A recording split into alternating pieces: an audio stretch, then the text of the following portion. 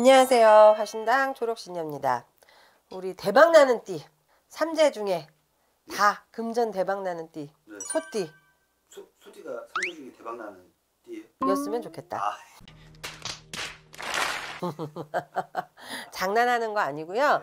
진짜로 이 양반들은 올해 횡재수는 없다고 봐야 돼. 그런데 중요한 건 있잖아요. 네.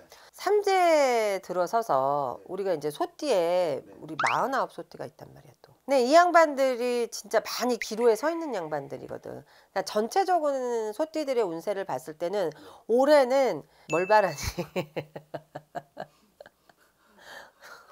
너무 너무 간단한가? 아, 그 정도예요? 그러니까 무슨 말이냐면 네. 횡재는 없어. 네. 누군가한테 뭔가 큰 도움을 받을 수 있는 기회를 많이 놓칠 거야. 음, 기회는 있는데 어, 아, 기, 그럼 정리해 줘요. 기회는 있다는 거잖아요. 그렇지. 그런 기회는 와. 네. 오기는 오는데 네. 이상하게 자꾸 이렇게 잘 안 돼요. 안 돼. 어, 그러니까 사업하시는 분들은 누군가가 나랑 계약을 했는데 네. 그 회사가 별로 음. 오더를 많이 주는 회사라서 계약을 했는데 그 회사가 별로 안 좋다든지. 막상 시작을 해 보니 그렇지. 네. 그래서 내가 어, 좋은 회사랑 계약을 해서 내가 신이 났는데 막상 들어가 보니까 그 사람 저쪽 회사가 오히려 빼돌리는 게 아니라 저쪽 회사도 많이 힘들어. 음, 그래서 그냥 같이 힘든 거지. 네, 네, 네, 예를 네. 들자면 네, 네, 네. 어, 무슨 말인지 아시겠죠? 네. 어, 또 그렇게 그렇게 이렇게 기운들은 있으나 뭔가 잘 맞지 않는 그런 기운들이 올해는 많이 들어와. 음, 그래서 금전에 네.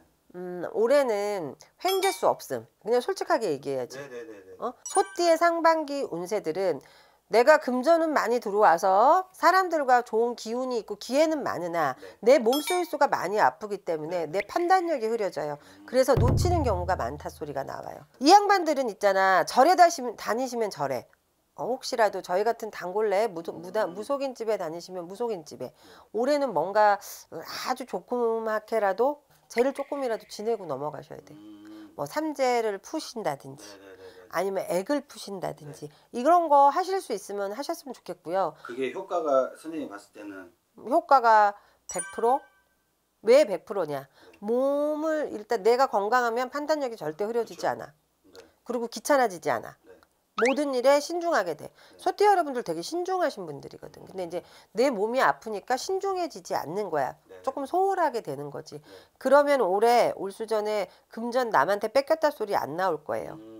어, 그래서 올해는 무속 저는 저는요 뭐 하세요 뭐 이런 얘기 물론 무당이니까 하기는 해요. 그런데 이렇게 유튜브에 얘기를 하는 건 이 양반들은 작은 금액을 들여서라도 뭔가 정 안 되면 내가 뭐 어, 내 아버지 어머니 산소 가서라도 진짜 절 좀 도와주세요라고 얘기라도 하고 와야 돼. 한 번 정도는. 네, 네, 네. 대신에 너 올 한 해로 봤을 때 뭐 추석 때 가시고 이런 거 안 돼 무슨 말인지 알죠 네, 네, 네. 뭐 기회가 되면 가지요 이런 아, 거 말고. 어. 정말로 진심으로 찾아. 아 진짜로. 네, 네. 응, 그래서 삼재 때는 진짜 거의 다 뺏어간다고 봐야 돼요. 솔직히 얘기를 하면 금전을 뺏어가든 건강을 뺏어가든.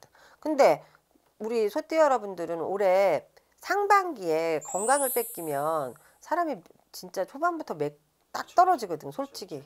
그러니까 그거 지켜내시기 위해서 무언가를 좀 이렇게 뭐 진짜 본인 산소에 가서라도 할아버지, 할머니, 어머니, 아버지 산소를 다녀오신다든지 네. 아니면 정말 어- 어떤 작은 금전을 들여서 뭔가를 하신다든지 아니면 마음으로 항상 잘 되게 도와달라고 뭔가를 빌으신다든지 올해는 그런 한 해가 되셔야 본인들이 금전 잘 지키실 수 있습니다. 네.